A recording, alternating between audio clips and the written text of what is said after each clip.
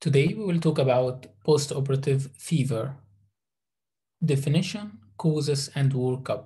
The definition is so simple, but before we will go through this mnemonic, wind, water, walk, wound, and wonder about drugs. These are the postoperative days, the occurrence during this postoperative days. Day one to two, wind, three to five, water, four to six, walk, and wound, four to seven, and above seven days postoperative wonder about drugs. The definition first, it is core body temperature more than 38 Celsius degrees for two consecutive postoperative days or just 39 Celsius degrees for one day postoperatively. Remember the five W's, wind, water, walk, wound, wonder about drugs. So the wind, water, walking, wound, and wonder about drugs is just in front of you. So day one to day two, post-operatively, the lungs. Wind, wind means the lungs. Think about pneumonia and atelectasis and also PE can be early. Water, post-operative day three to five, think about urinary tract infection and especially catheter-associated UTI. And please, wound, but before wound, we'll go through walking or veins or veins. This means DVT and PE. This is a post-operative day four to six. Wound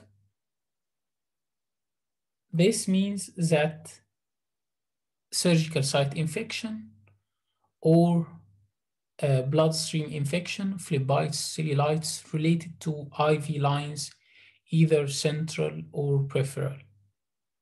And drugs, think about drugs, this mean uh,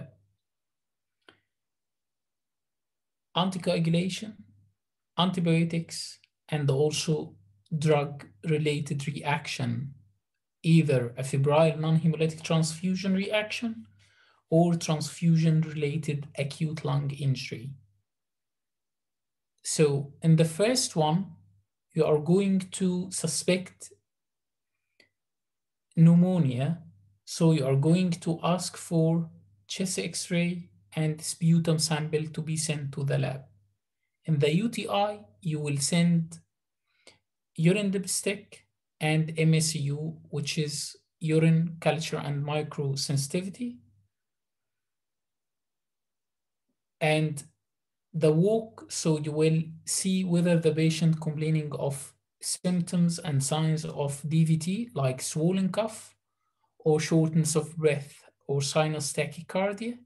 This means that this patient might have DVT or PE, pulmonary embolism start Wells score assessment, D-dimer, and CTPA if